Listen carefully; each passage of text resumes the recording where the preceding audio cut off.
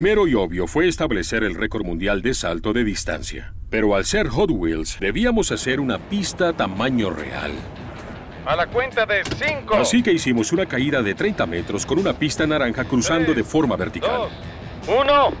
Tanner Faust condujo la 4x4 en una pista Hot Wheels casi vertical sobre el estadio de las 500 millas de Indianápolis y saltó un campo de fútbol.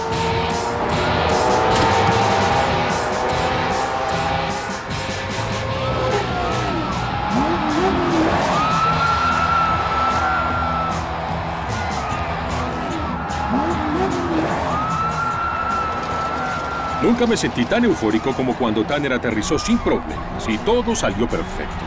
Acabas de batir el récord mundial. A celebrar, amigo, bien hecho. ¡A celebrar! ¡Sí! Fue algo emocionante e importante. Todo el mundo lo supo.